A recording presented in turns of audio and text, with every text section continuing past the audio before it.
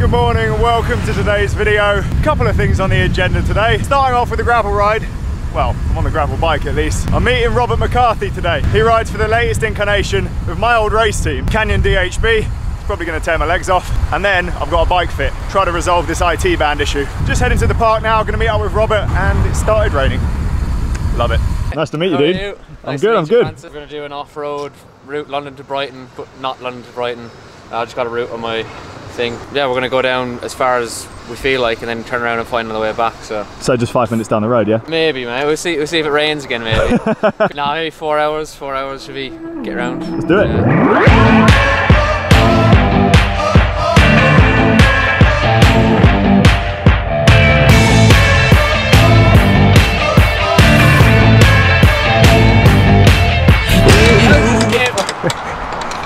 How many pro cyclists does it take?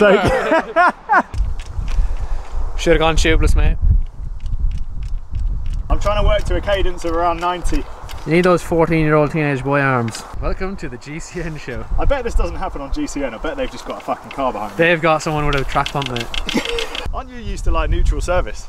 Yeah, not really. Um, don't puncture that much with our uh, tubeless tyre system. Ah, yeah. Fuck you. Pro bike tool, yeah. Better than Lezyne, I heard. Yeah, definitely. Proven. Just you've just proven it. Yeah. Tubolito. Yeah, one of those in there. Yeah, little tubolito. Tubulito, it's uh, in a tube and a piece of Mexican food as well. Yeah, you can get it at Tortilla. There you go. All sorted, ready to go on the 30 second puncture repair. Yeah, That's how you do it. Get the chain back on. that was impressive, man. That was speed. Thanks. That's the way I like it. Always keep it classic. Dazzle like a sapphire.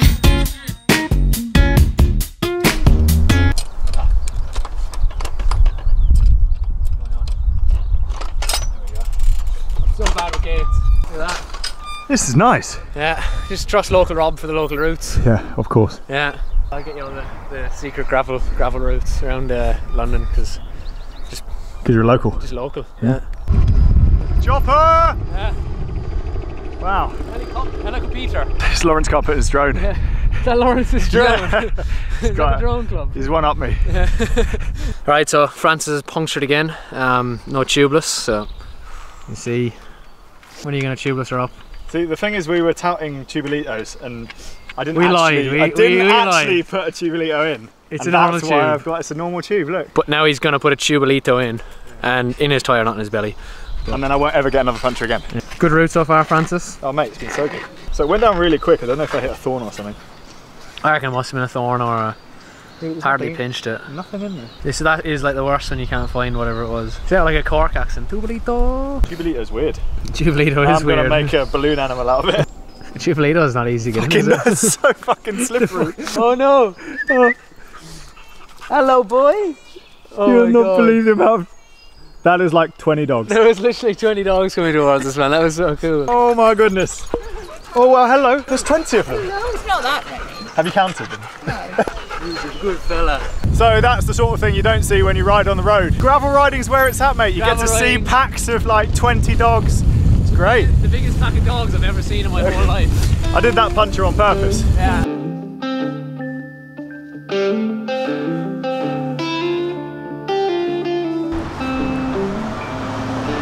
Plug.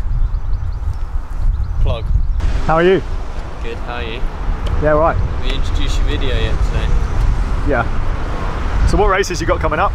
Tour of Yorkshire and then, oh, Jesus Christ. Tour of Yorkshire next week. That's quite a big race. Big race, yeah. So I got fifth on the stage last year, so hopefully you can go better than fifth on a stage this year. And then the week after that, three days after it actually, got an alpine stage race called Rhone Alps Tour. And then the tour series the week after that, so a fair old mix of uh, yeah, yeah, a fair old mix. Are you going to be taking it easy this week to sort of taper before the Tour of Yorkshire? Yeah, or- I'm going to start tapering on Saturday, so I've got um, Sunday, Monday, Tuesday, and Wednesday, four days of taper. Oh, There we go. Quick the dream. Do you like doing a taper or is it just boring? I kind of like it because you've got a lot of time for uh, other things, so you don't have to go doing massive miles on the bike, and you can just do other things. But you can't go out and have like 20 beers.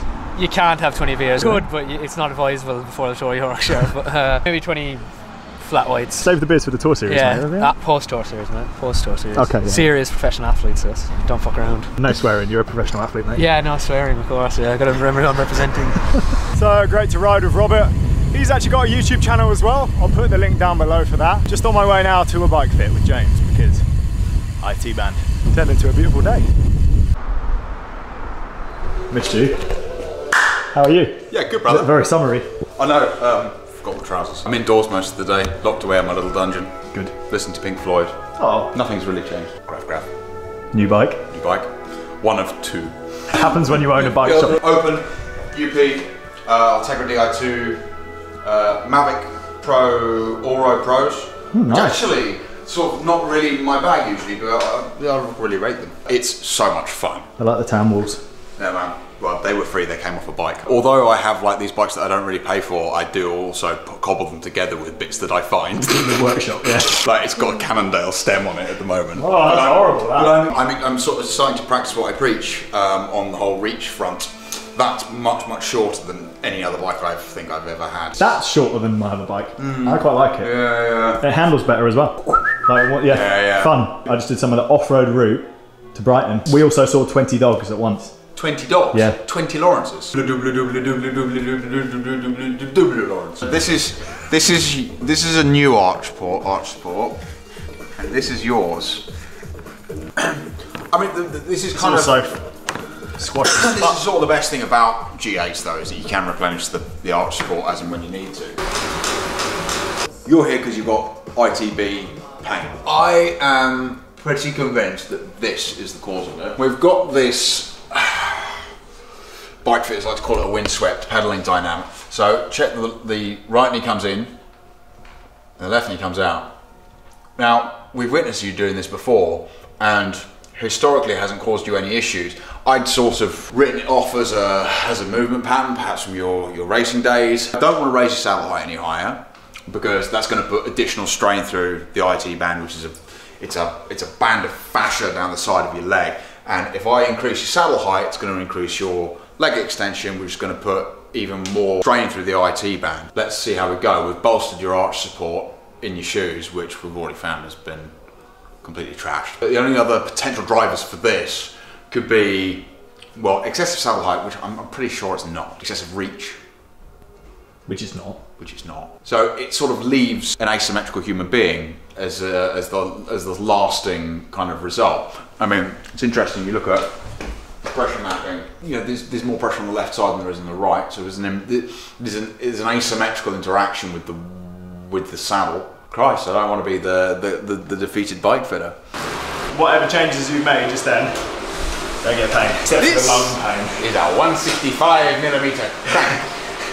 Short crank. Tiny crank for tiny man. My, my rationale behind it is reduction crank length generally will improve hip function more than anything else. Simply put, means you don't have to raise your knee so high to get over the top of the stroke. I think the fact of the matter is, we've made a change on the jig and the pain's diminished.